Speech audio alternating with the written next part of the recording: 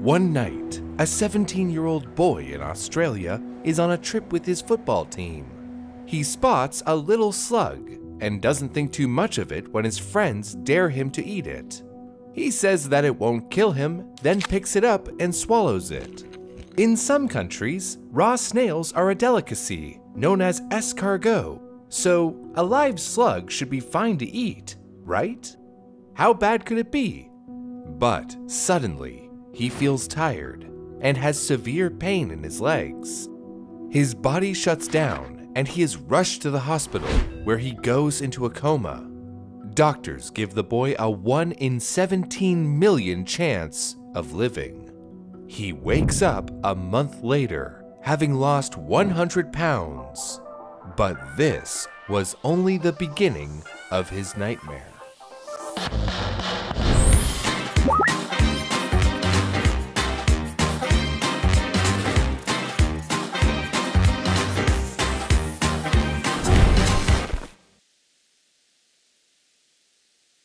Let's get into it.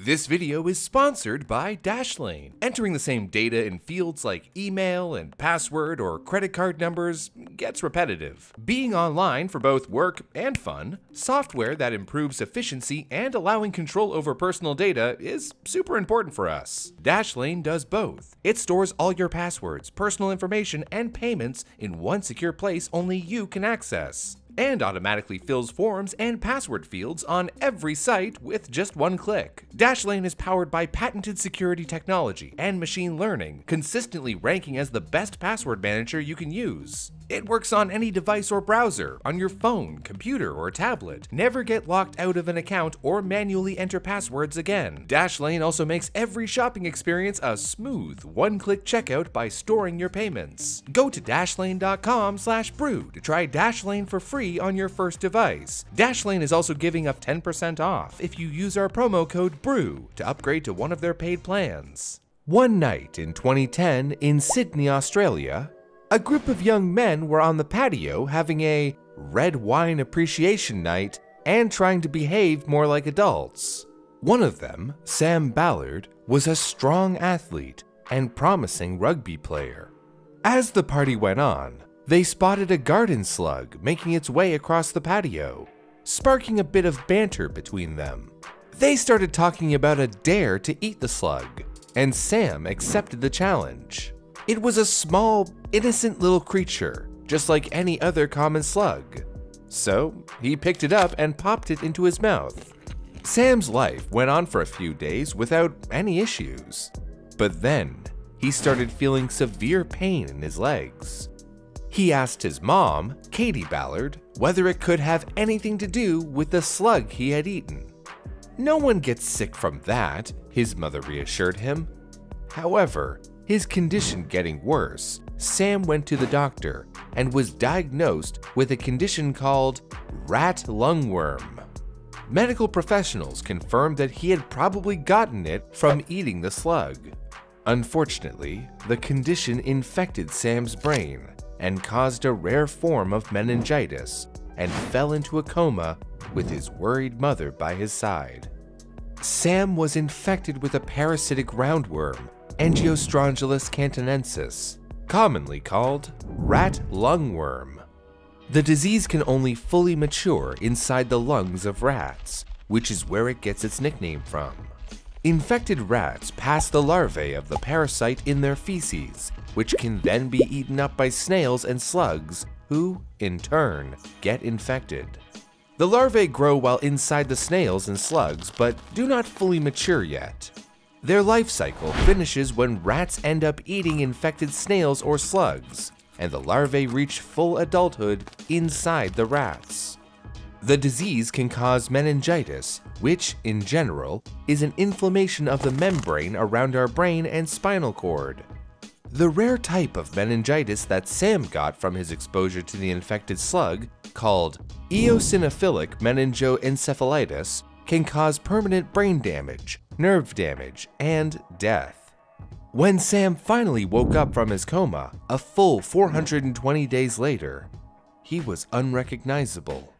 He had suffered brain damage and was paralyzed, needed tubes to eat, and was only able to move with intense effort. The strong rugby player, once considered invincible by his mother, now needed expensive, around the clock medical care. After staying in a Sydney hospital for three years, Sam was released in a wheelchair. He still needed 24 7 care, and his friends had to fundraise money to help his family afford it, though they still struggled to get by. It turns out that, not far away, an eerily similar story happened to another teenager in Australia. In 2008, Liam McGuigan, a high school senior from Brisbane, was on a school football trip. One of his classmates offered him $10 if he ate a slug. Liam responded, It won't kill me. Like Sam, he ate the innocent looking creature and felt just fine at first. It took a little while, but soon 17 year old Liam began to feel extremely tired, and his muscles stopped working. At the hospital, doctors thought the issue might be his appendix. They removed it, but within hours, Liam's temperature rocketed as his body shut down. They removed his clothes and covered him in ice to try and reduce his temperature. Alarmingly, he fell into a coma. Doctors at the hospital pumped Liam's body full of steroids and told his mother to plan his funeral. He was given a 1 in 17 million chance of living. Then, four weeks after going into a coma, he woke up 100 pounds lighter than before, but alive. Liam had to relearn how to do everything again eating, talking, and walking. But eventually, he repeated his final year of high school and regained 99% of his old life. Liam was always thankful for his recovery, but one day, sobering news came out that let him know how lucky he truly was. After eight years of living with his condition, Sam Ballard had died, surrounded by 20 of his closest family and friends. His last words were to his mother, and he said, I love you. Humans are incidental hosts of this roundworm, which means that the parasite is not really looking to get to you, but if it happens to find itself in your body, it'll make itself at home in your central nervous system. While it's not contagious, the infection can spread to people when food containing the larvae stage of the worms is consumed. Snails and slugs are the most common culprit for carrying these small creatures, and parts of them can be hidden in raw produce as well. It's believed that the mucus left behind by snails, slugs, and other gastropods can cause infection, though according to CDC, the science on this is not clear. For example, if a slug crawls across your lettuce, you didn't wash it properly, and then eat it raw. While most of these carriers are small, the giant African land snail, which can grow larger than a human hand, can be infected. Yikes.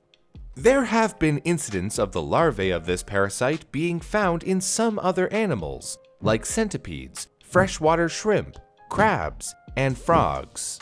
It's possible that eating infected creatures raw or undercooked could result in people becoming infected, but there isn't a lot of clear evidence. However, fish are not known to spread this parasite, so keep eating as much sushi as your heart desires. And if you're a fan of escargot, a French hors d'oeuvre made with snails cooked in garlic and parsley butter, cooking kills the parasite, so there's no need to worry. Well, at least about rat lungworm. So please continue to enjoy your uh, delicacy. However, an attempt to introduce escargot into Brazil did lead to a case of A. cantonensis. In the late 1980s, many Brazilians bought home kits for giant African snails to sell escargot, hoping the dish would take off in the country. It turns out that Brazilians aren't huge fans of escargot, and the business was short lived. Unfortunately, the entrepreneurial attempt led to the giant African snails becoming an invasive species in Brazil. They made themselves at home, leading to cases of rat lungworm and two incidents of meningitis. Most known cases of infection have been in parts of Asia and the Pacific Islands, but there have also been reports in the Caribbean, Africa, and Hawaii. In one incident in Hawaii's Big Island, Kane Tauana'u, a baby less than one year old, was diagnosed with A. cantonensis, the 17th infection case in the state that year. Kane's mother, Santini, said that their home is surrounded by slugs who tend to come out after it rains. She believes that her baby was crawling around outside and might have accidentally eaten a slug. Santini had begged the ER doctors over and over to give Kane a blood test. She could tell this was no ordinary condition, but Kane had to suffer for nine days before his mother's insistence won out. She refused to go home again without a blood test, and her intuition was right. Because children can't always communicate their symptoms, the infection presents differently than in adults. Crying a lot, a bad temper, mood swings, tiredness, and other behavior changes are common. According to his mother, Kane was developmentally delayed after his recovery. She says that at 16 months old, he was developed as a one year old. But he is a happy, loving, joyful baby whose parents are extra careful now when it comes to preventing incidents. Another case involving a young patient, only 7 years old, happened in Japan. Bliss Scott was an American girl in the first grade at an elementary school in Okinawa. She had touched a giant African land snail and then suffered from bad headaches. Blood tests were taken to try and find out what was causing her so much pain. The results brought terrible news. Bliss was suffering from rat lungworm. All they could do was hope the disease didn't progress too far. But the infection reached her brain, and Bliss developed meningoencephalitis. Tragically, the young girl lost her life to the parasite. Diagnosing this disease involves analyzing these symptoms as well as travel and exposure to animals like snails and slugs. Blood tests can be tricky to secure, but a PCR test can also detect A. cantonensis. Inside the human body, the A. cantonensis larvae cannot grow or reproduce, so the parasite dies over time even with no treatment. Those who go on to develop eosinophilic meningitis don't usually need antiparasitics, but symptoms can last for weeks or months as the immune system reacts to the dying parasites. The most common symptom of this meningitis is a headache, which occurs in all mild cases. Other signs include photophobia, light sensitivity, stiffness in the neck, sensitivity to touch, tingling, pain, facial paralysis, muscle fatigue, and vomiting. Most treatments are to treat symptoms of infection, such as pain medication for headaches or medication to reduce the body's reaction to the parasites, like the ice covering Liam when his raging fever struck. A severe case might be indicated by a high fever and severe headaches, as well as paralysis, pain along areas of skin, vertigo, blindness, and a coma. Symptoms will usually flare up one to three weeks after being exposed to the parasite, but the duration depends on the severity of the case, normally lasting between two to eight weeks. People who do get infected with this roundworm actually don't need any treatment in most cases. Some cases don't have any symptoms while others only display mild symptoms that don't last long. And if patients progress to a severe case of meningitis like Liam's, treatment will vary on a case-by-case -case basis. While cases of death by snail are rare, it's important to be very safe with what you eat and follow a few simple guidelines. Don't ever eat raw or undercooked critters that can carry this roundworm. And wash your fruits and veggies carefully, especially leafy vegetables like lettuce. Remember to wash your hands after possible exposure and before you eat. And if you're traveling in an area where the parasite is common, avoid eating uncooked vegetables. Finally, if you see a giant African land snail around, it's best to admire it from afar and not touch it. Unless you want to become an Escar ghost.